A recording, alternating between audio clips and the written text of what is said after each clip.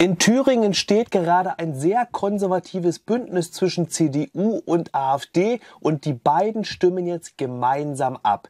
Den CDU-Landespolitikern ist die Brandmauer nämlich mittlerweile vollkommen egal und deswegen drehen die Linken jetzt komplett durch.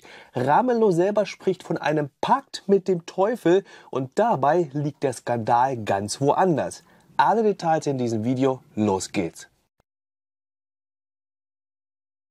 Ein Jahr vor den Landtagswahlen brechen in Thüringen jetzt alle Dämme. Die CDU ist nämlich von den linksgrünen Parteien maßlos enttäuscht und arbeitet jetzt offiziell mit der AfD zusammen. Es entsteht ein konservatives Bündnis und die Brandmauer von März ist der Thüringen CDU mittlerweile vollkommen egal. Schauen wir uns mal den konkreten Fall an, um den es hier geht, bevor ich dann auf die Folgen zu sprechen komme und dann auch noch den eigentlichen Skandal offenlege.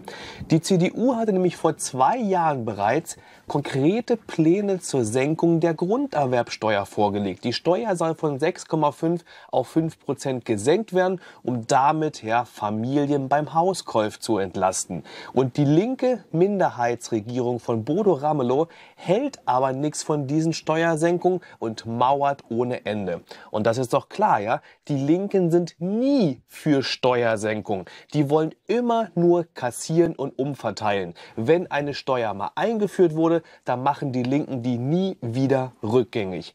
Aber jetzt, nach zwei Jahren, hat die CDU einfach die Nase voll und die wollen das Gesetz zur Steuersenkung durchbringen. Und sowohl die AfD als auch die FDP hat dafür gestimmt und zusammen hatten alle drei Parteien eine Mehrheit und konnten das Gesetz gestern durchbringen. Ja, und deswegen gehen die Linken jetzt komplett auf die Barrikaden und schäumen vor Wut.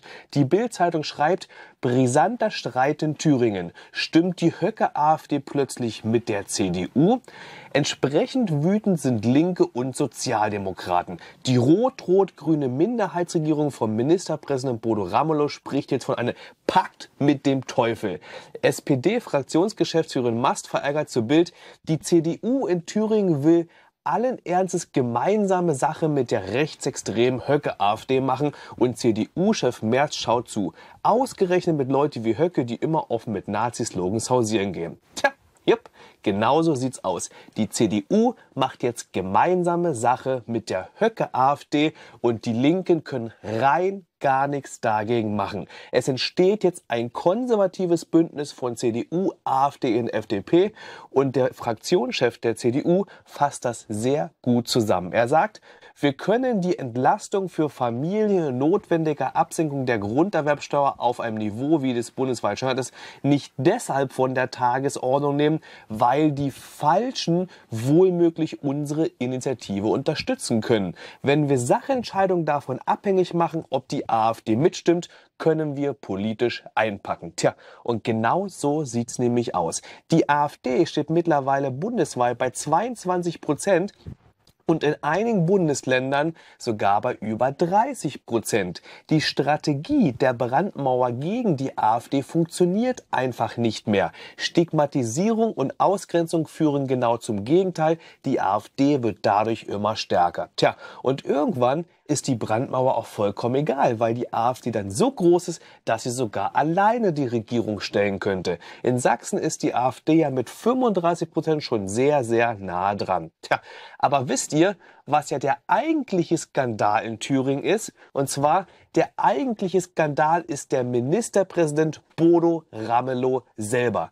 Ramelow ist nämlich der allergrößte Lügner und Heuchler überhaupt. Ramelow ist unrechtmäßig und völlig undemokratisch an die Macht gekommen und heult jetzt rum ohne Ende. Und das muss man sich mal vorstellen.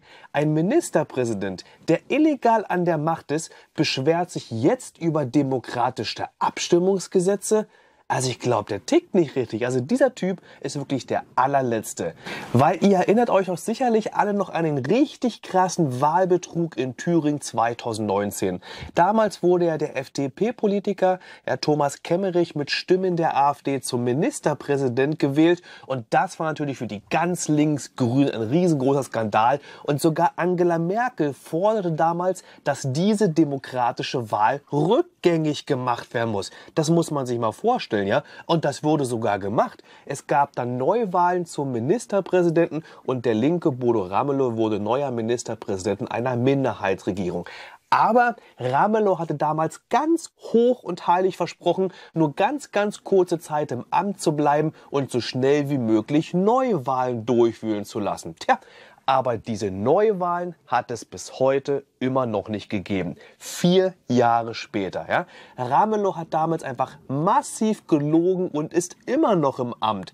Und das, meine lieben Zuhörer, ist für mich der riesengroße Skandal in Thüringen. Ja? Zuerst wird eine demokratische Wahl eines Ministerpräsidenten rückgängig gemacht und der darauf folgende illegale Ministerpräsident äh, sagt, er verspricht, er führt Neuwahlen durch, was er aber nie im Leben macht. Ja, das ist wirklich pure Machtgier und Geldgier sondergleichen. Tja, und dann wundern sich die Altpolitiker wirklich allen Ernstes, dass die Thüringer Bürger sauer über diesen Skandal sind und jetzt die AfD bei 32 Prozent steht. Tja, das völlig undemokratische Verhalten der Altparteien genau dazu geführt. Aber anstatt sich für diese große Heuchlerei von damals zu entschuldigen und aus ihren Fehlern zu lernen, machen die Altparteien jetzt ganz genauso weiter. Jetzt beschweren sie sich sogar über die demokratischen Abstimmungen zu Steuersenkungen, ja? Unglaublich. Also diese grünen, linksgrünen Parteien sind wirklich das allerletzte und die größten Heuchler von Thüringen. Sich selber völlig undemokratisch verhalten und sich dann auch noch zusätzlich über unsere Demokratie beschweren. Ja? Das ist doch einfach nur noch krank und für unsere Demokratie in unserem Land völlig unwürdig. Tja. Und die Altparteien ja, und die Politiker von denen, die merken es noch nicht mal, welchen Stuss die erzählen. Hier jetzt noch ein krasses Beispiel für Stuss ja, bezüglich der aktuellen Abstimmung der Steuersenkung in der FAZ. Die SPD-Landtagsfraktion in Sachsen-Anhalt bezeichnete das Abstimmungsergebnis in Thüringen als einen Sündenfall für die Demokratie. Die CDU müsse diesen Kurs stoppen, damit Thüringen und Deutschland keinen Schaden nehmen, fordert die SPD-Fraktionschefin Landtag Sachsen-Anhalt Katja Pehle am Donnerstag. Nein, Frau Katja Pehle, du redest kompletten Schwachsinn. Das, was ihr damals 2019 in Thüringen gemacht habt, das war ein Sündenfall für unsere Demokratie. Genau das hat riesengroßen Schaden für Thüringen und, die, und Deutschland angerichtet, ja? Euer völliges antidemokratisches und illegales Verhalten bei der Ministerpräsidentenwahl und die spätere Lüge von Ramelow zur versprochenen Neuwahl. Also, Frau Pehle, bevor du hier solchen Schwachsinn redest, ja, solltest du dich mal an die eigene Nase fassen und dafür sorgen, dass endlich diese illegale Regierung in Thüringen aufgelöst wird. Tja, und an der Abstimmung in Thüringen, wie sie jetzt gelaufen ist, kann man noch etwas weiteres ganz deutlich sehen. Und zwar, dass Friedrich Merz seine Partei, die CDU, nicht mehr unter Kontrolle hat. Merz spricht ja immer von einer Brandmauer gegen die AfD auf Bundes- und auf Landesebene. Aber gerade jetzt hat die CDU ja ein konservatives Bündnis aus AfD, CDU und FDP gebildet und bringt gemeinsam in Thüringen Gesetze durch. Aber nicht nur in Thüringen sondern auch auf Bundesebene. Eventuell ist euch ja das Verhalten der CDU bei der äh, Generaldebatte vor zwei Wochen im Bundestag aufgefallen. Ja? Dort hat nämlich Bundeskanzler äh, äh, Olaf Scholz eine Rede gehalten und er hat die AfD in seiner Rede beleidigt als Abbruchkommando für unser Land. Tja, und als Olaf Scholz das gesagt hat, hat der ganze Bundestag dafür applaudiert. Natürlich mit Ausnahme der AfD und mit Ausnahme der CDU. Die haben auch nicht geklatscht. Schaut euch mal diesen Ausschnitt an. Die allermeisten Bürgerinnen und Bürger wissen, dass die selbsternannte Alternative in Wahrheit ein Abbruchkommando ist. Ein Abbruchkommando für unser Land.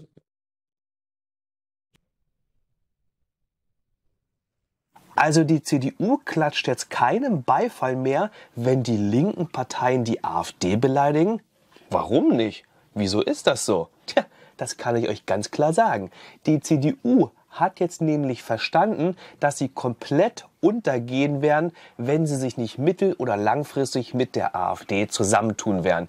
Die CDU wurde nämlich damals unter Angela Merkel extrem weit nach links geführt, sodass sie jetzt komplett in der Bedeutungslosigkeit verschwindet, vor allen Dingen nachdem die AfD so dermaßen stark wird. Ja? Die CDU hat einfach nichts mehr zu melden.